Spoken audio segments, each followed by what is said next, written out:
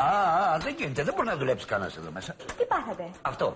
Οι εγκέφαλοι με τις ρόδες, τα κουμπιά και τα γρανάζια. Οι αριθμομηχανές. Που ταράξανε τα νεύρα. Με τρελάνανε. Κι όλε έξυπνο κουβάλι εδώ μέσα; Πρόοδος, κύριε Θόδωρε. Πρόοδος.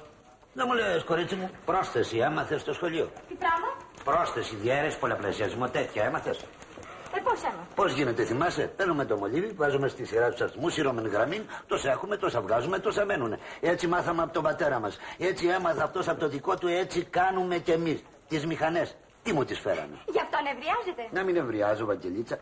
Έτσι, Βαγγελίτσα. Να αφήσουμε τις μηχανές να φάνε το ψωμάκι μας. Αν πάμε έτσι, εγώ αύριο δεν θα είμαι αρχιλογιστή, θα είμαι κατσαβίδι. Να προσέχω τις μηχανές. Και δεν θα μου δίνουν μισθό, θα μου δίνουν ένα τενεκάκι ορυκτέλεο το μήνα να λαδώνω τις κλειδώσεις μου. Μα τι είναι αυτά που λέτε; Αυτό που σου λέω, πρόοδος. δηλαδή, τι πρόοδος; Να μου πει αύριο ο διευθυντής Θόδωρο απολύεσαι και στη θέση σου προσλαμβάνεται μία πρίζα; Ε, ελάτε, υπερβάλλετε. Αυτό που σου λέω εγώ.